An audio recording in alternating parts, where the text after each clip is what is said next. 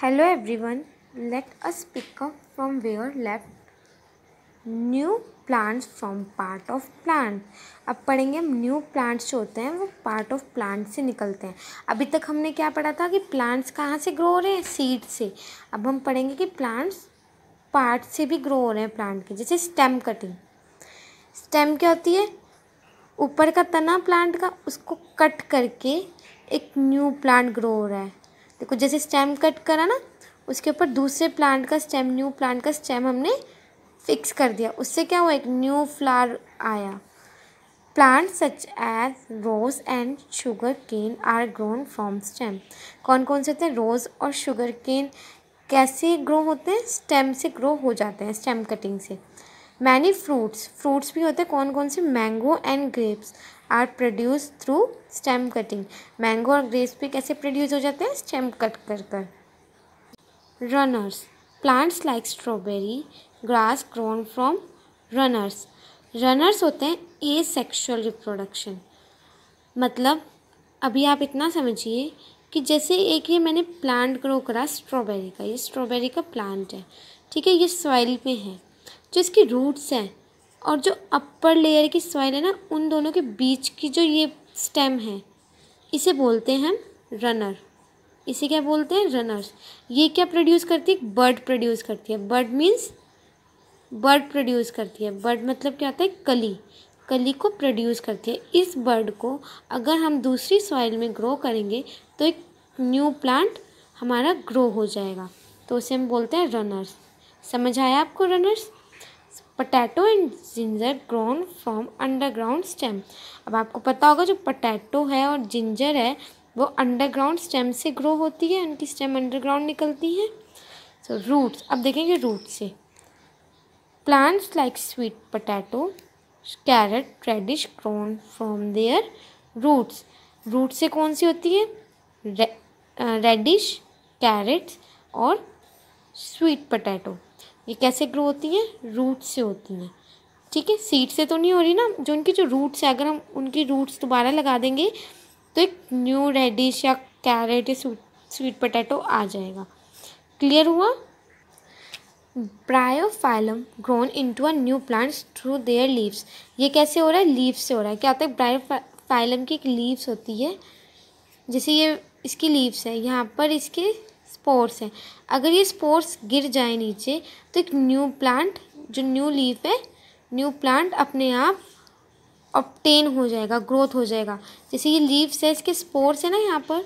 अगर ये स्पोर्स गिर जाए तो उससे न्यू प्लांट आ जाएगा। वो कौन सा है? Bryophyllum algae, fungi and mosses do not have flower देखो एल्गी एंड मॉसिस के क्या होते हैं? फ्लावर नहीं होते। तो वो सीड को प्रोड्यूस नहीं कर सकते। So instead they produce spores वो भी क्या प्रोड्यूस करते हैं? स्पोर्स ही। फंगाई देखो, ये क्या प्रोड्यूस कर रहा है? स्पोर्स प्रोड्यूस कर रहा है। जिस, इसके स्पोर्ट्स एक न्यू फंगाई क्या हो जाएगा? ग्रो हो जाएगा। ऐसे ही क्या है? फर्म फर्न इस पर भी क्या है ये? ये जो छोटे छोटे हैं ना, ये इसके स्पोर्स हैं। क्लियर हो रहा है आपको? और इनके स्पोर्स से एक न्यू फर्न ग्रो हो जाएगा। Now crop and vegetable crop और वेजिटेबल के बारे में हम पढ़ेंगे। क्रॉप्स क्या होता है? Plants of one kind grow देखो, जो प्लांट्स होते हैं, जो एक काइंड के ग्रो होते हैं, बहुत बड़े स्पेस पर, बहुत बड़े एरिया में, उसको हम क्या बोलते हैं? क्रॉप जैसे वीट है ये बहुत बड़े लैंड में ग्रो हो रखा है ना? सिर्फ़ वीट ही ग्रो हो रखा है। राइस ग्रो हो रहा है यहाँ पर? मेज़ ग्रो हो रही है? नहीं हो रही ना, सिर्फ़ वीट ग्रो हो रहे हैं। तो इसे क्या बोलेंगे क्रॉप्स क्लियर हुआ आपको? So farmer grow different crops in different season अब जो क्रॉप्स हैं, जो फार्मर है, वो अलग अलग क्रॉप अलग अलग सीज़न में ग्रो करता है। जैसे crop like wheat and gram grown from November जो वीट का है ग्राम का है, उसे ग्रो कब करता है वो नवंबर टू अप्रैल मतलब नवंबर में ग्रो करता है अप्रैल में क्या करता है इसको काटता है। ठीक है? तो इस, इसे हम बोलते हैं राबी क्रॉप्स इन्हें क्या बोलते हैं? राबी क्रॉप्स राबी क्रॉप्स जो होती है विंटर क्रॉप्स होती हैं। राबी क्रॉप्स कौन सी हुई हमारी? विंटर क्रॉप्स ठीक है? क्यों ये विंटर क्रॉप्स क्योंकि ये नवंबर में उगती हैं। नवंबर में उगाया जाता है, नवंबर ठंड का सीज़न होता है, ठंड होती है ना उसमें तो ये हमारी विंटर क्रॉप होगी, ठीक है? अब खरीफ क्रॉप खरीफ क्रॉप वो होती हैं जो जून में बोई जाती है और अक्टूबर में काटी जाती है तो इसे हम बोलते हैं समर क्रॉप इसको खरीफ को क्या बोलेंगे? समर क्रॉप जैसे राइस मेज़ ज्वार एंड बाजरा, ठीक है? ये सब कब होते हैं? जून में होते हैं, जून में क्यों होता है? क्योंकि इन सब क्रॉप्स को सबसे ज़्यादा क्या चाहिए? वाटर चाहिए, ठीक है? तो बारिश रेनी सीज़न आ जाता है ना इस टाइम पीरियड पर तो ये क्रॉप अच्छे से ग्रो हो जाती है। अब आपको क्रॉप सीज़न पता चले? Vegetable like cabbage cauliflower radish bean and pea during the winter जो वेजिटेबल हैं, जैसे कैबेज है कॉलीफ्लावर है रेडिश है, वो कहाँ पर, कब ग्रो होती हैं? विंटर सीज़न में। And vegetable like brinjal pumpkin ये कब ग्रो हो रहे हैं हमारे समर सीज़न में? तो आपको इन दोनों का पता चला सीजन्स का? अभी हमने क्रॉप्स का पढ़ा था कि विंटर में कौन से हो रहे हैं समर में कौन से हो रहे हैं। वेजिटेबल्स में भी देखो विंटर में कौन सी वेजिटेबल ग्रो होती है और समर में कौन सी होती है। अब जो डिफरेंट प्लांट्स हैं, वो जो ग्रो होते हैं, उनका भी एक डिफरेंट क्लाइमेट होता है। जैसे अब राइस है। राइस जो हैं, वो पैडी एरिया में ग्रो होते हैं। जब राइस होते हैं, उसमें हम बहुत सारा पानी डालते हैं, उन्हें बहुत सारे पानी की ज़रूरत होती है। पर अगर हम वीट की बात करें तो वीट को इतना पानी नहीं चाहिए होता। ऐसे प्लांट्स हैं, वो भी, उनको भी अलग अलग सॉइल्स चाहिए होती हैं ग्रो होने के लिए। जैसे rice and jute grown in clay soil जो राइस एंड जूट है, वो कैसी सॉइल में ग्रो ग्रो होते हैं? क्ले में गीली गीली में, जिसमें वो ज़्यादा से ज़्यादा पानी को क्या करते हैं? होल्ड कर लें। ठीक है ना? तो इसलिए ही सबसे ज़्यादा राइस कहाँ ग्रोन होते हैं? वेस्ट बंगाल की साइड होते हैं, क्योंकि वहाँ पर क्या आती है? ज़्यादा रेन आती है, बारिश आती है तो इसलिए ज़्यादातर राइस जूट कहाँ पर ग्रोन होते हैं? वेस्ट बंगाल में। On the other hand wheat is grown in sandy wheat कहाँ पर ग्रोन होती है? सैंडी प्लेस पे। उसे ज़्यादा वाटर की ज़रूरत नहीं होती। एंड इरीगेटेड सॉइल फिर वो कहाँ पर होती है? पंजाब एंड उत्तर प्रदेश में। क्लियर हुई आपको बात? अब, jowar and bajra are grown in sandy soil like that अब ज्वार और बाजरा को ज़्यादा पानी की भी ज़रूरत नहीं होती। है ना? सैंडी सॉइल में हो जाते हैं। तो वो कहाँ पर ग्रो हो रहे हैं? राजस्थान में। Black soil of central and western India is good for cotton अब ब्लैक सॉइल जो है central India and western India की वो किसके लिए गुड है? कॉटन के लिए। अब टी प्लांट कहाँ पर होते हैं? उन्हें क्या चाहिए? तो मॉइस्ट सॉइल चाहिए होती है।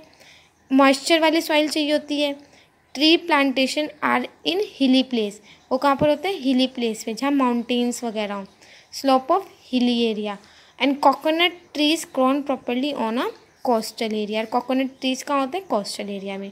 अब आपको पता चला कि अलग अलग प्लांट्स अलग अलग जो हमारे क्रॉप्स हैं, वो कहाँ पर क्यों ग्रो होते हैं? पंजाब में क्यों वीट ग्रो होती है? वेस्ट बंगाल में क्यों राइस ग्रो होते हैं?